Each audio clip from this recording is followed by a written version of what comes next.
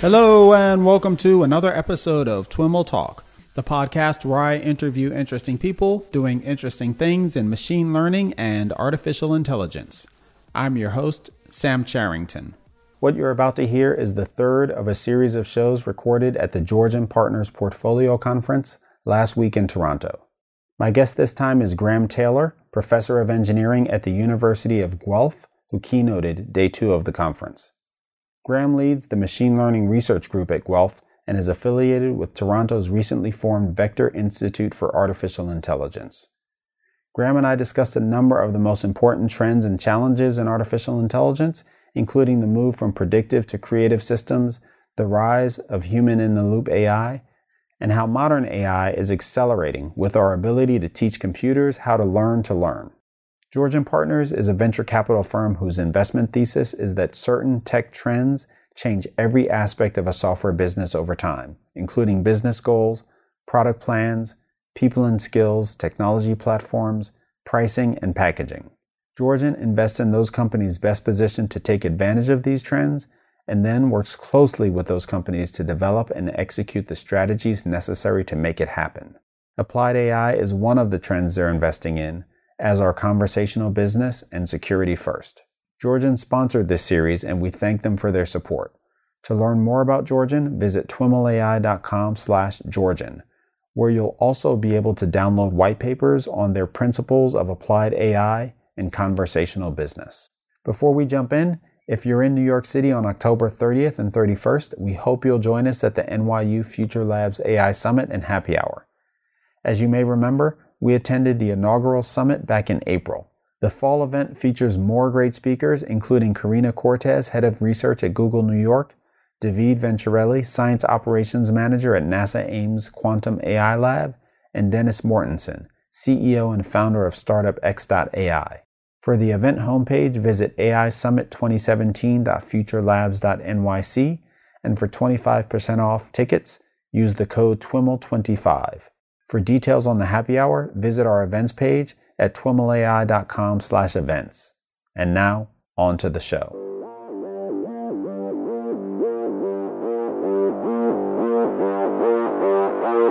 All right, everyone. I am here at the Georgian Partners Portfolio Conference, and I've got the pleasure of being seated with Graham Taylor. Graham is a professor at the University of Guelph here in Canada.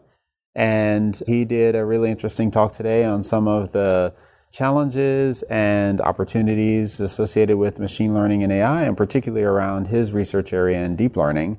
And we're here to spend a little bit of time chatting about that. Graham, welcome to the podcast. Thanks for having me on the program. I told you this is my first time doing a podcast, so I'm really excited to, being a consumer of podcasts, actually give back to the podcast community. So thanks for having me. Nice. Absolutely. Absolutely.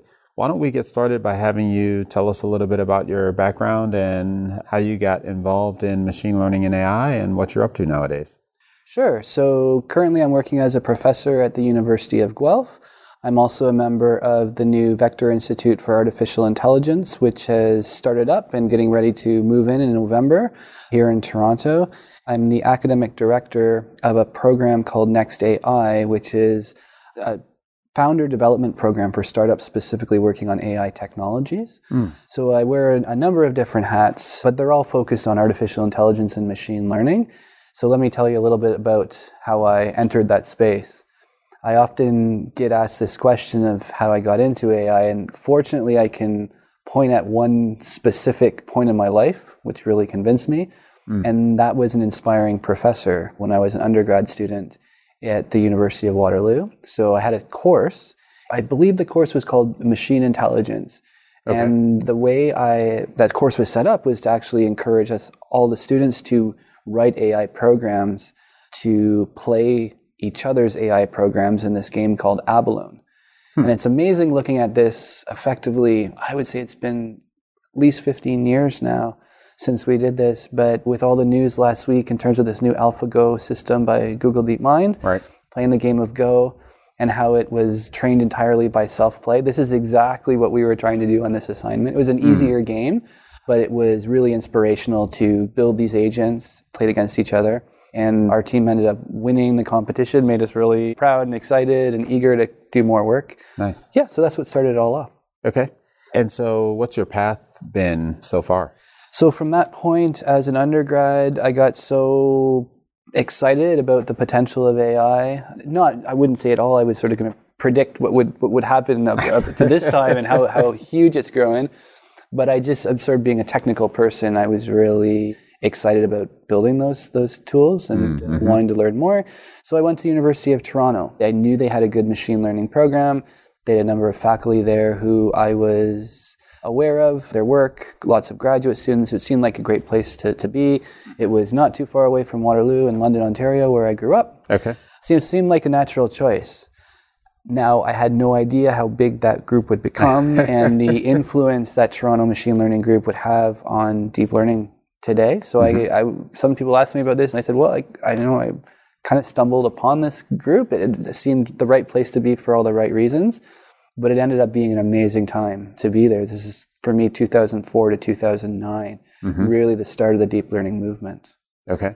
So a lot of the individuals that are leading the major industrial research labs or even the nonprofit efforts like OpenAI, for example, mm-hmm. They were students uh, in the group at the time. A lot of the key papers and key ideas that were published and disseminated at that time have gone on, right, to be sort of the, the foundations of AI. And a lot of it came out of that group and the groups that we were having close collaboration with, including mm-hmm. the Montreal, now they call it Montreal Institute for Learning Algorithms, run mm-hmm. by Yoshua Bengio, and then the group at NYU, which at that time was led by Yann LeCun. Mm-hmm.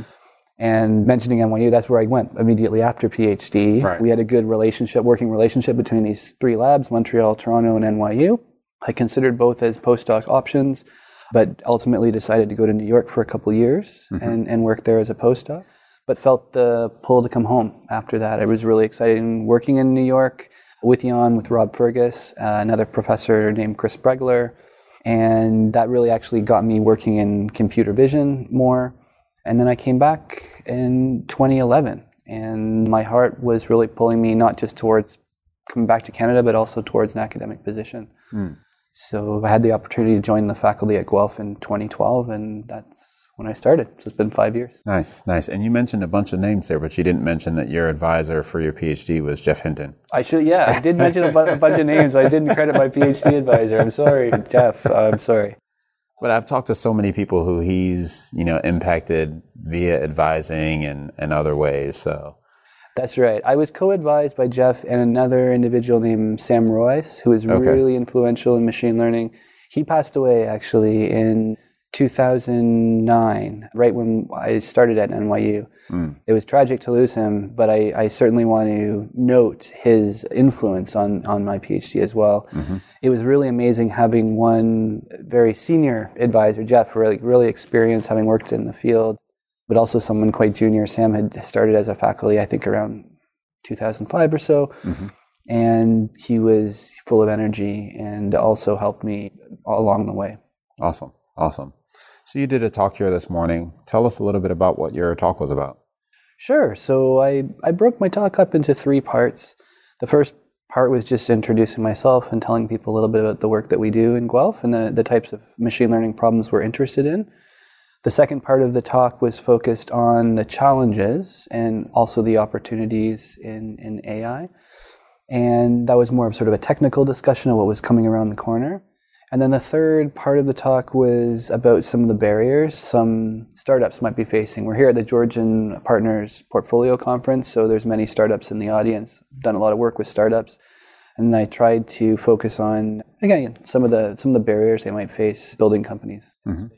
So why don't we start with kind of a rundown of the the challenges and opportunities as, as you see them? Sure. So I started by talking about the technological changes coming towards us. And I think the, the first one that I started with was the move from what I would call largely predictive systems to creative systems. So when I say predictive systems, I mean these systems that we're used to interacting with on a daily basis, the systems that might give us a temperature forecast tomorrow, or we might get up our, our mapping application and it would tell us an estimated time to get from A to B, or the people on the financial side might be interested in forecasting the price of a particular financial instrument the next day. But those types of inputs, they're either a category or they're a number, they're pretty low dimensional, mm-hmm. and there's usually a single right answer. And so when I talk about the movement towards creative systems, I'm talking about systems that produce high dimensional output and where there's no single right answer. So mm-hmm. examples of this sort of more on the creative side would be art creation or poetry or music. And while these are some of the more culturally flavored activities, which which get some attention, there's also some real commercial applications such as automatic email reply or mm-hmm. conversational dialogue systems. Or I showed a, a proposed de- design for a robot that's creating meals and serving to, them to you every day. And so I, talked about some of the challenges in building those kinds of systems. Yeah, I thought that one was pretty interesting. Folks that listen to the podcast will be pretty familiar with the idea of generative networks and style transfer and, you know, creating, you know, all the efforts we've seen to like create movie scripts and poetry Right. and all this kind of stuff. And so the, the kind of the art example was really, has has been really front and center for me for a while. But then when you, when you kind of describe the recipe creation, that's a totally different domain than one that we hear about all the time. Maybe because there are a bunch of different disciplines that need to come together for for us Absolutely. to really explore, you know, or fulfill that the Jetsons vision.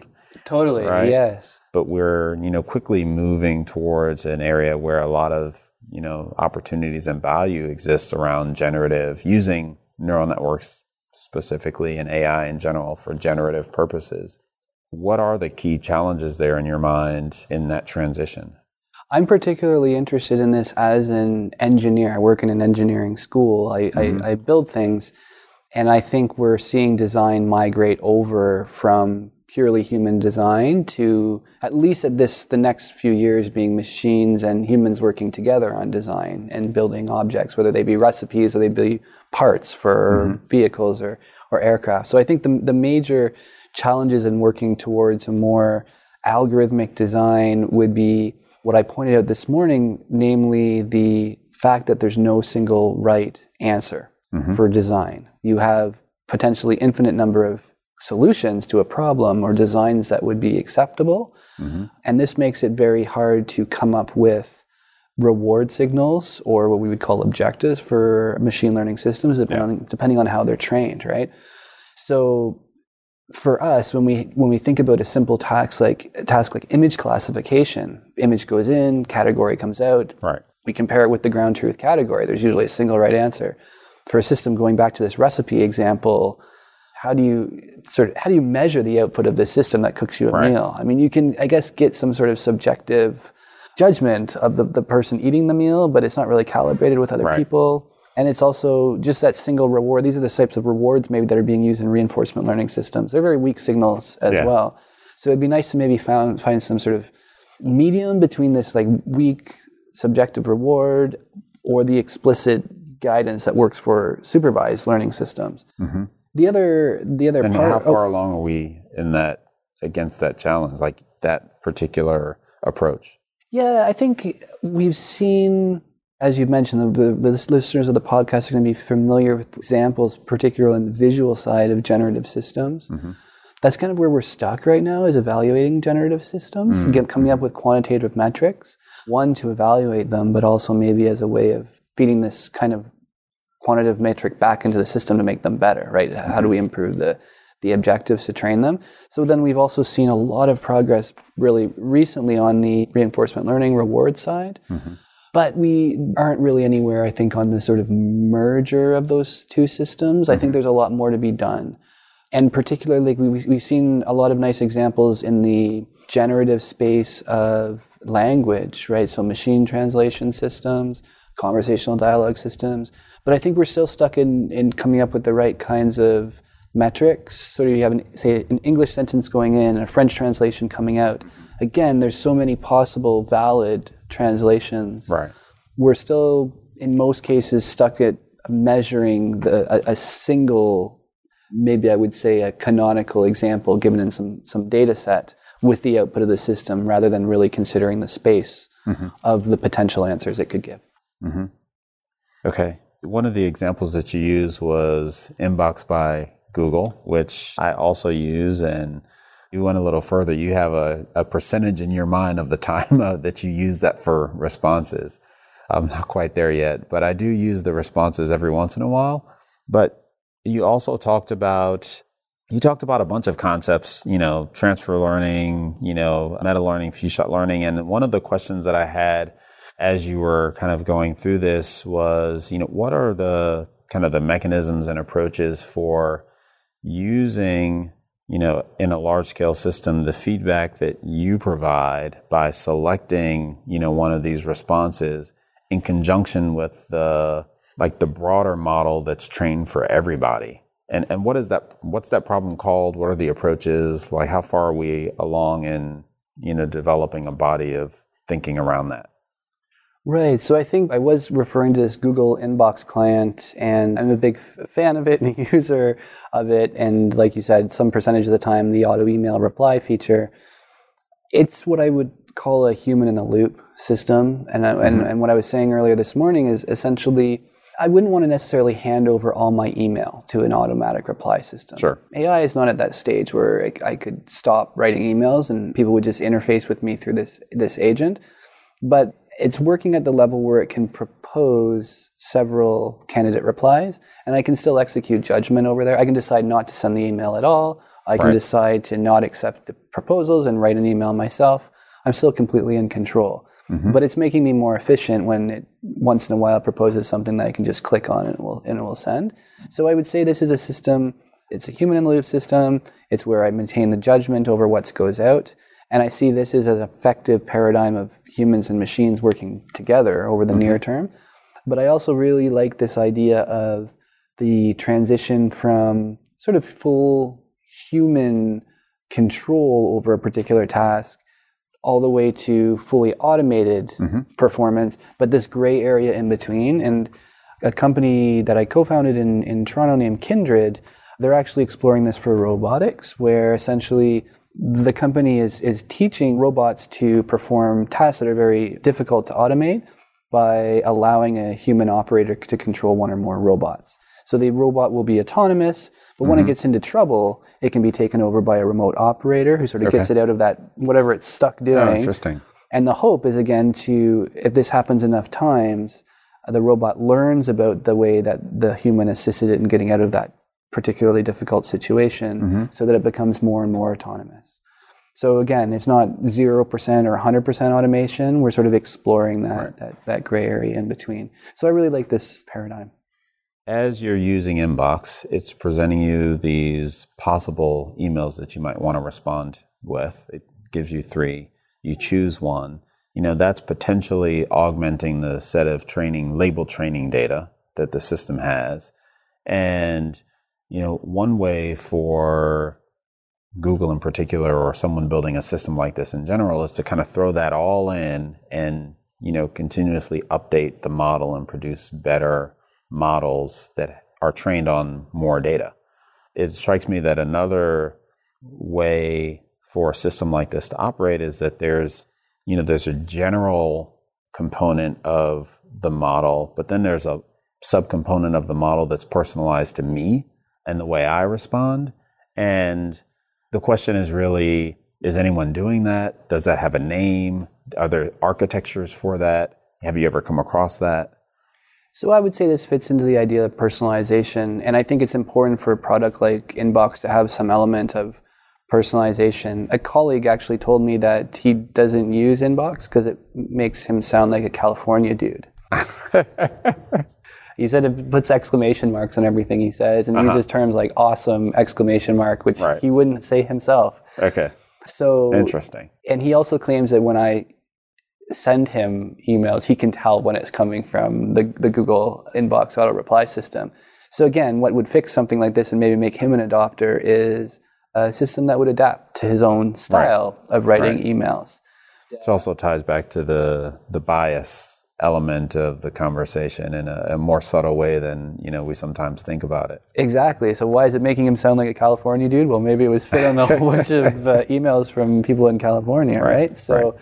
It certainly ties back to that. I, I, think in terms of how to how to talk about this, and, and you, you, even raised the idea of having a model that's been built from a whole lot of data, sort of a master model, and then personalized models for each of the people, and, mm-hmm. and sort of adapting. I think we, we do see it. It's it's an instance of transfer, right? So you can. Mm-hmm. Uh, I, I was talking today about you know how do you deal with these problems where you have a very limited amount of labeled data, and I said, well, it's very popular right now to train a model on a big generic data set and then cut off the top of it and then replace right. that with something more specific and then train on a very s- much smaller set of data. So you can take something like generic object recognition, a big ImageNet style data, net, data set, and then tackle a task like bird species classification, mm-hmm. which is fine grained, but you have much less data.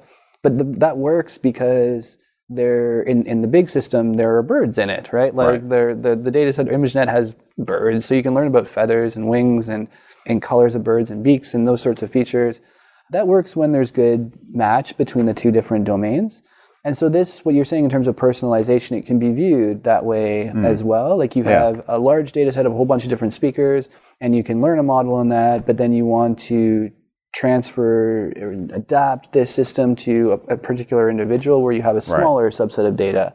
And it, it, makes sense. You wouldn't want to necessarily have a, a, model for each individual person that work in isolation because there's probably not enough data there to generalize well. Mm-hmm. In that case, you want to capitalize from the all of the email that Google is holding in its uh, right. servers from people using Gmail. Okay. Okay. So, additional challenges that you were describing. Oh yeah. So I think I, we had gotten we'd really only gotten across the sort of the two um, opportunities coming across. I could I could move into challenges, or I could tell you about another couple of things that are coming across as sort of please trends. So maybe I'll, I'll try to finish those off. The two trends that I hadn't mentioned yet. One was this idea of moving from careful human construction to learning to learn. Mm. So right now, like these these systems yeah. are like the output of the hard work of graduate students and the faculty members advising them, and researchers and right. practitioners. I mentioned about the migration from feature engineering to architecture engineering. Right, the the way that people describe deep learning often is that oh, it's the end of feature engineering. Mm-hmm. We no longer have domain experts who craft very specific features. We can learn all the features with deep learning. Right. And I saw you had a picture of Stephen Merity's article on your slide, which I've talked about on the podcast a while ago. Okay, fantastic. So I, I love that blog blog post, and it really Same here. I, I, I think it's totally accurate. We've moved into the world of architecture engineering, mm-hmm. and so one way of getting out of this is essentially having these meta learning style algorithms. Mm-hmm. I mentioned a specific example in our lab where we're dealing with multimodal data. So in this case, we might have video and audio, and, and we, we had motion capture coming in. And so we're figuring out how to actually merge those different modalities. I mean, the nice thing about deep learning models is with multimodal learning, you have so many opportunities of how to extract representations from the different modalities mm-hmm. and how many levels of representations you should go for each of those and when they should be merged together and which uh-huh. modality uh-huh. should be merged. But there's all these decisions to be made. And so you can either have a grad student like we had who's just really skilled at figuring this all out and spends a year, you know, working towards a competition. Yeah but ultimately, ultimately, we'd like to hand that over to an algorithm that figures that out, and that's what we've done. So, you know, that's one instance of learning in architecture. I know Google Brain has been working on this with reinforcement mm-hmm. learning. They worked on learning optimizers. They're now working on, and other people are also working on learning activation functions. Mm-hmm. So really, like it's yeah, hand it over to the the algorithm, and, and this meta learning is really exciting. There's some some great work that was done at Twitter before Hugo Larochelle moved over to, to Google Brain on learning an algorithm that's just good at few shot or one shot learning. Mm-hmm. Also an instance of meta learning. So there's it's an it's an exciting area. I think after Stephen's article came out, I spent a long time trying to through my interviews trying to understand the process of architecting deep neural networks and I guess it took me longer to, you know, and retrospectively, it took me longer than it should have to figure out, you know, the gradient descent by graduate student. There are a right, couple of yeah. different versions of this. Graduate student just, descent. Graduate yeah. student descent. And, you know, to at least, you know, it seemed like a year ago or so, like that was the state of the art. But since then, you know, you described a number of methods for kind of automating architecture. One of the ones that you mentioned was a, a Bayesian based approach, and That's there were some others. Can you go into a little bit more detail on the various ones that you mentioned? Sure. So we explored a couple different approaches in, in my lab for the multimodal learning problem. Okay. One approach is Bayesian optimization, which a lot of people in the deep learning field are familiar with from the point of view as doing model search or hyperparameter mm-hmm. optimization. So these are the decisions that we all need to make about how many layers and how many units per layer and what kind of activation function. And then on the, uh, the learning algorithm side, how long do we train for? Right. Should we use Adam Optimizer or should we use RMS Prop or what should our regularization coefficients be? There's all these decisions. And, and, and with deep learning, there's more of these decisions in classical machine learning models. So people have proposed Bayesian optimization as a, a, a suitable tool, and it, it's actually been very successful in automating some of the hyperparameter search.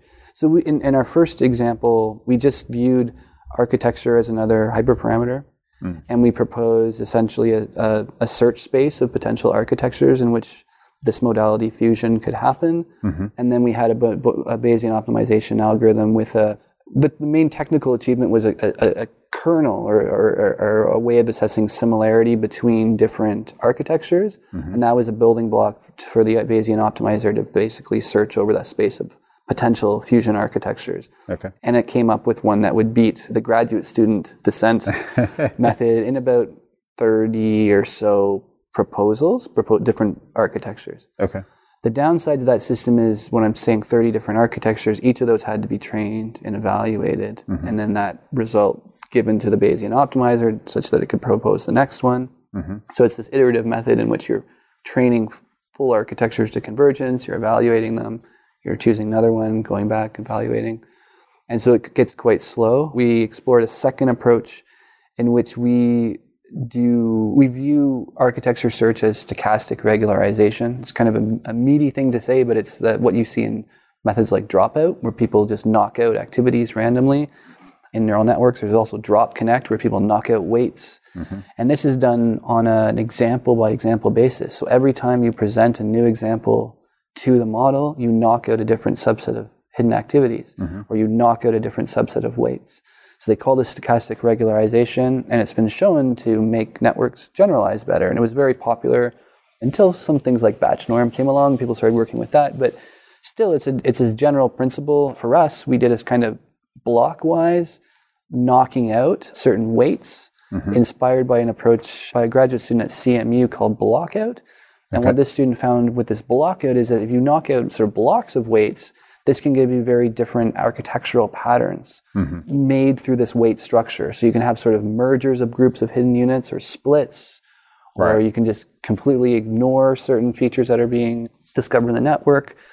And we basically proposed a modality aware version of this. So it would, as this training, explore many different multimodal fusion architectures mm-hmm. and then eventually converge to one that worked mm. pretty well. So that ended up being more efficient than the Bayesian optimization approach. Okay. Okay. That's pretty technical. No, that's that's great. That's good. That's great. okay. And then there was another challenge.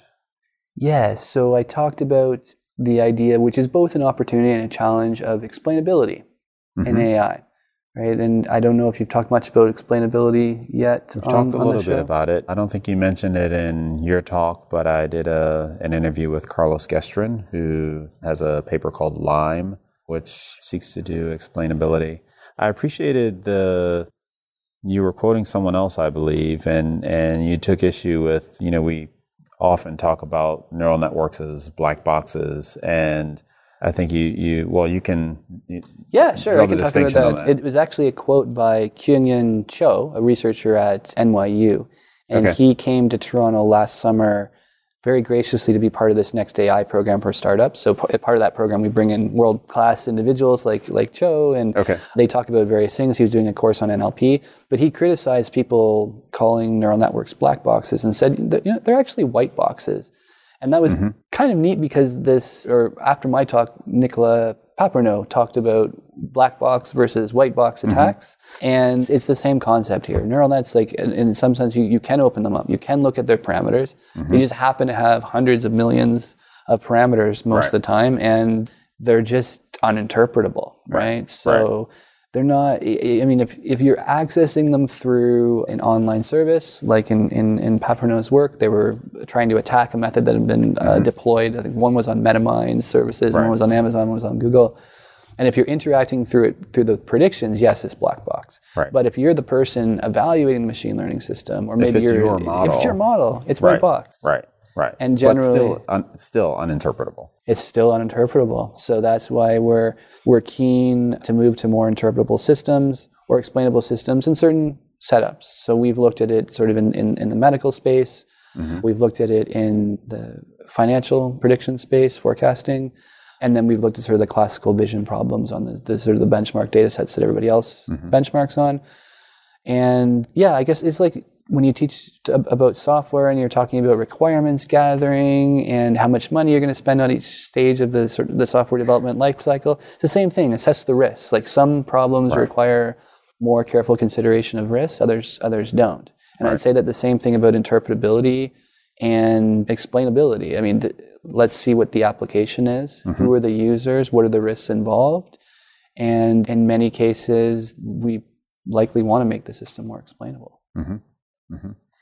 Okay, then opportunities. We've, Yeah. we've arrived to opportunities. Yeah, actually, we've gone. Sorry, we've gone through a lot of opportunities, and and and I'll move more into sort of barriers. Let's say that the last part was some of the barriers, and when I talked about barriers, it was I'll just go quickly through them. Data. Mhm. The next one was talent, Mhm. and then the third one I talked about was building trust. Mhm. So we, we can maybe go in and dissect each of these. I mean, first of all, for data, I think in deep learning we've seen a tremendous number of really cool examples of deep learning working in practice, but I would argue that it's been done in fairly limited set of domains. Mm-hmm. The ones I mentioned were the, the big three: vision, speech, and audio processing, and then natural language. Right. And these are generally unstructured domains where there's a lot of data, can data in particular. Mm-hmm. These are the sorts of applications being pursued by the commercial internet giants, right? And actually, it's, it's, it's something I've had a struggle with in my lab, just motivating some students to tackle other kinds of problems where benchmark data sets are not available. So I actually mentioned today, for example, some agricultural applications that we've worked on. But again, you're rewarded more as a researcher to conduct your experiments reasonably quickly, get your papers out, mm-hmm. and compare to other people in the literature. And you know, so you download ImageNet, you propose a new architecture, you publish a paper on it. At the end of the day, if you want to solve a problem that actually, you know, really important problem like growing food in an environmentally friendly way, in a sustainable way, and that gives decent yields for the farmers, and you want to explore, say, deep learning for remote sensing in, in agricultural fields, mm-hmm. this involves a crazy amount of data collection. It takes a lot of work to get out in the field, do those flights, say, say UAV flights, do the ground truthing, which involves actually collecting samples. Say you're, you're looking at soil properties or, mm-hmm. or nitrogen properties of plants. So this might take a summer, it might take multiple growing seasons, and you actually don't see the effects of any any interactions until the end of the growing season when you actually can measure ne- yields. So this is not the same time frame of a lot of the experimentation that happens in machine learning. So again, going back to the AlphaGo example, the system is able to play two and a half million games against itself because it, it, it can carry out a game and get the reward in Right. less than a second. Right. In an agricultural situation, you can't get a reward in less than a second. It's, Yeah. it's six months, right? Or, or, or longer. So, anyways, this is a bit of a ramble just saying that we're fairly limited in the ways that we're applying deep learning right now. Mm-hmm. And it's a lot about the data, like the how do you collect the data, where do you get the data, how hard is it to to gather that, process it. And so, anyways, there's a quote by Chris Dixon that I gave at, at the end, which was data is really the key ingredient to mm-hmm. AI because it's the missing ingredient. So we publish our algorithms. Like there, there- there's great algorithms out there. They're available to people. Compute power has really grown and it's become cheaper. So we have access to great compute. So it's really the data that we that we don't have. That's the missing mm-hmm. ingredient for these sorts of problems I'm talking about. And it's also for companies, it's the proprietary ingredient. So people aren't publishing data sets as quickly as they're publishing papers on algorithms. Mm-hmm. That's one of the challenges that I that I see is is is data. Well, if you can maybe quickly summarize the other two and leave us with any final thoughts as we wrap up. Sure. So, in terms of the other two, one is was, is talent, and I, I think this is the idea of companies faced with, well, how are we going to fill these positions where we need really skilled people in machine learning, mm-hmm. And whether you know questions around, oh, do we need PhDs or master's graduates good enough? Can we take somebody trained in a different area and, and move them into machine learning field? I think there's a lot of amazing stuff going on here, particularly in, in not just Canada, but Toronto. There was an mm-hmm. announcement last week by the provincial government to fund Vector Institute with $30 million to work with the Ontario universities mm-hmm. to develop professional graduate programs in AI and machine learning. Mm-hmm. And in five years, we're going to be looking at graduating a thousand students per year. That will be the, the, the goal for steady state in mm. this province. I think we're addressing that issue with mm-hmm. talent right now. But as I mentioned today, we also have a lot of professors leaving academics, right. going to work in industry part time or full time. And we need to work on retaining those individuals. I think decisions like starting the government supporting AI yeah. initiatives, initiatives like Vector and Mila and Amii in, in, in Alberta, those are all working toward making this making academics attractive mm-hmm. in this field versus industry. But I think we need to do more to encourage the people staying in academics or, or moving into academics to continue to train the, the, next generation. And then the final topic was on trust, right? Building trust. Right. And actually, we've already touched on a couple of those issues. Explainability yeah. was one. Right. Bias and fairness. I tend to like the idea of using technology as, as actually, as Nicolas Papernot said in, in his talk following mine, these ideas around differential privacy preserving algorithms mm-hmm. to increase people's trust in machine right. learning systems, rolling out technology like fair representations for removing bias from algorithms that make mm-hmm. predictions. And so I think I, I, feel pretty good about the future yeah. of AI. And I'll, i guess I'll, I'll, summarize it that it's, it's, a great field to be working in. This Toronto area is a, a great place to be working on these technologies. Mm-hmm. There's a lot more to come. And I think in terms of the problems, I do see a diversification in the future of the types of tasks we're solving. Mm-hmm. And I think they're at least working with the, the startups in the Next AI program. I also see a lot of interest both from the, the companies building these technologies, but also from the investment side right. and companies that are doing social good mm-hmm. as well. So building both profitable companies, but also solving real important issues. Right, right. And so that's what I look forward to. Awesome. Well, Graham, thanks so much for taking the time to sit with me and share all that you've shared about your kind of vision for this and, and how you see it. Thanks a lot. It's my pleasure. Great to meet you. Great. Thank you.